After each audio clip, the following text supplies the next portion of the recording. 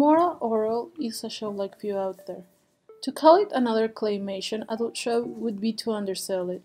To call it a cynic criticism of religion would be to lose its nuance. If I had to pick only one thing that makes Moral Orel stand above your average crude adult animation show, would be that Moral Orel wears its heart in its sleeve when it comes to its protagonist. Moral Orel at its core is the story of a kid that when confronted by the reality of an uncaring world and the fact that practically every adult around him is but a bundle of broken pieces strung together, he chooses to be kind. And moreover, he continues to choose to be kind. But I'm getting ahead of myself. I want to talk a bit about the intergenerational cycle of violence. This is when within the family unit, children are exposed and or subjected to abuse. These children who grow to become adults that have been exposed to violence throughout their lives then perpetuate this abuse whether they think it's normal and a role they now fulfill as their parents once did, or come to regret the pain they inflict to their own children. Moral Orel is about choosing to break the cycle. The series starts loose the loss of its universe with a zombie outbreak. While not much continuity can be gathered from the first batch of episodes, which the creator Dinos Stamatopoulos wrote in about a month, they serve to establish the foundations of the characters and their dynamics. Orel is a wide-eyed kid that only admires God beyond what he admires his dad, and he seeks to do right by both of them. When he is taught something God ought him to do or be, he goes above and beyond to honor that, which always goes terribly, terribly wrong. At the end of the episode, his hijinks are cut short by his dad, and after a spanking, he is taught that there is actually a lost commandment about where he went wrong. Orel seems blissfully unaware of the cracks beyond the facade of every adult in his life, from the loveless reality of his parents' marriage to the origin of his brother. This all culminates in the season finale, where as Orel desperately tries to hold on to the hope that God is there, about to save him and his family any moment now, the show ends and his hope goes unmet. Fun, huh? While the status quo is ultimately preserved, Orel's world continues to expand in the second season. As we learn more of the characters in the city, Orel too starts to grow from his experiences. But then, everything changed. I can confidently say that the season 2 finale Nature is one of the best pieces of television.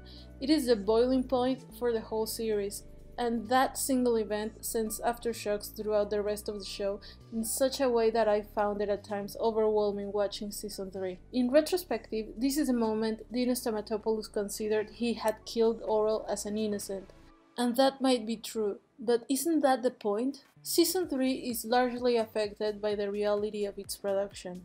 Impressed by the season 2 finale, Dino was encouraged to push towards a more serialized and dark storyline. A few episodes in, that push proved to be way more than what Adult Swim had bargained for, and the show was axed once and for all. This meant that out of what made it into the season, Orel's story arc was cut, and out of 13 episodes, we only see Orel post nature in 2. Season 3, as it stands, is considered by many to be a masterpiece. We get an in-depth look into the city, and we finally truly poke the wounds of many citizens in Moralton. It offers emotional catharsis for some characters, while explaining why some others will never find it. But it's missing something. Moral Orel at its height is missing Orel. After recently watching this show, this bothered me so that I had to look into what was missing. I found out that Orel would have had a storyline where his grandpa, now a dying man, would move into his room. I also found this. You know, it's weird. It's kind of like anytime someone shows some kind of niceness towards someone else, they don't know what else to do. Hmm. Yeah. I think it's probably because niceness doesn't really happen too much around here. So it feels odd when niceness does happen. And it feels so odd that it's unnatural. Maybe even wrong. Maybe being nice here in Moralton feels dirty. Wow.